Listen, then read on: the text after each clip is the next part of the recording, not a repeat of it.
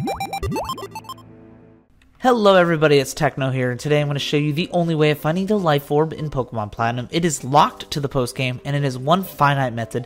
Go ahead and fly on over to the resort area. You're going to need the help of uh, a Pokemon with the ability to rock climb, so make your way up to Route 229, go ahead and split off into the left side, which will take you to Route 228. You know you're here once you see this sandstorm kicking in. Just keep going northbound and uh, squeeze your way through all these cliff sides, and eventually you'll come across this patch of grass, which will lead you to the gate for 228.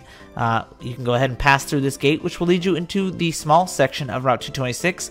Go up into Route 227, and over here you'll see this little uh, uh, hill that you can uh, hop over with your bike. You need your bike to be in Mach mode, so hop over that hill, uh, make your way down, and do it again on this one. This time we're going to walk off this ledge and squeeze our way around and make our way up further into the mountainside. Go up this staircase, and we're going to need the help of our bike to cross this little ledge over here, and we're going to make our way through the grass uh, and hop over these two ledges by the karate fighter guy over here.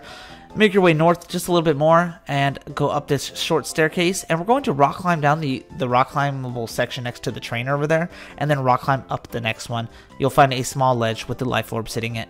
If it's not there, that means you've already picked it up. You can't get another one. So that's the only way of doing it. I hope you enjoy the video. And as always, guys, Techno's out.